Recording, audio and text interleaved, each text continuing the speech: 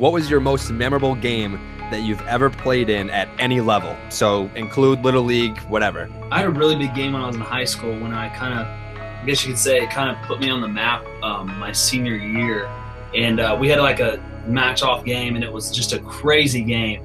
And uh, we ended up having like a man on first, uh, or, oh no, second and third, and we were winning by a run.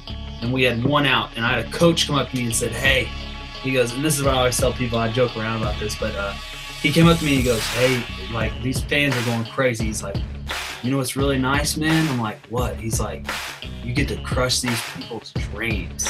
And I was like, All right. Like this guy backed up and my brother's standing there and he's like, They don't even know what's coming, dude. They don't even know. And I'm like, I'm like, all right. Like I'm getting so jacked like in that moment.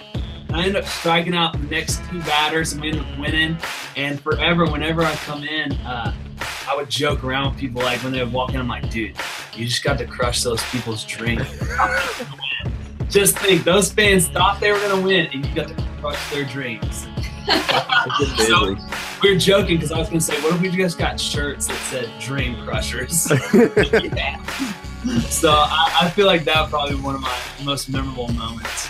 I mean, I'm definitely going to have to uh, like put that in the repertoire Yeah, for this season. Put that on the That- back that of the shirt me, that we like, made. That for makes me want to like retire lawnmower and move on to dream. No, I mean, like you can use you can use both. I mean, you can be like, here comes the lawnmower to crush some dreams. Like that's There we go. That's gonna be a thing. Like that's gonna be the new thing.